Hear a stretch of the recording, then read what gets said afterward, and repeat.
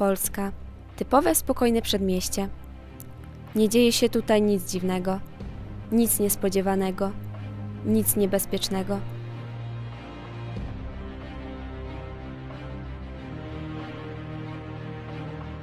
Meksyk.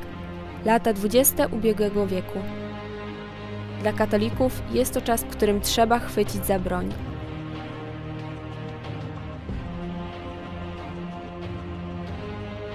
Wybucha wojna, pochłaniająca tysiące ofiar.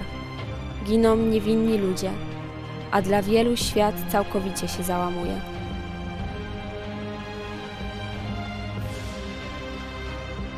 Trzynastoletni Jose Sanchez del Rio, świadek wszystkich tych tragicznych wydarzeń, prosi rodziców, aby mógł dołączyć do zbrojnego ruchu oporu Cristeros. Tam przygotowuje posiłki dla powstańców, czyści broń, nosi sztandar. Wiara każdego z nas często poddawana jest próbie, ale na ile jesteśmy w stanie przyjąć na siebie cierpienie, a całe swoje życie ofiarować Bogu.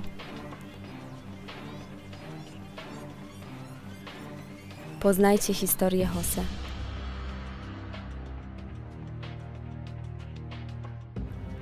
Viva!